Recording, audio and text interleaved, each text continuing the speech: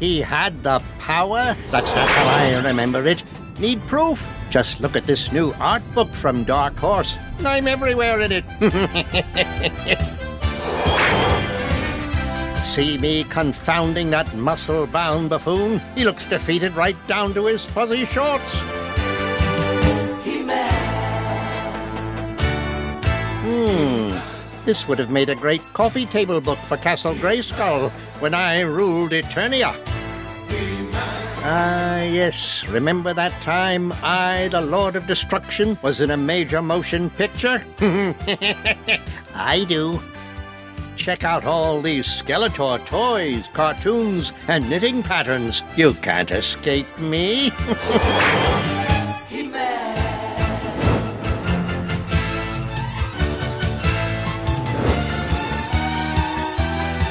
Look at all these pathetic, pitiful pinheads groveling at my feet.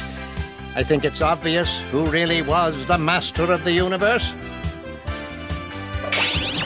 But I'll let you in on the power. All you have to do is buy my book. oh, I'm so lonely.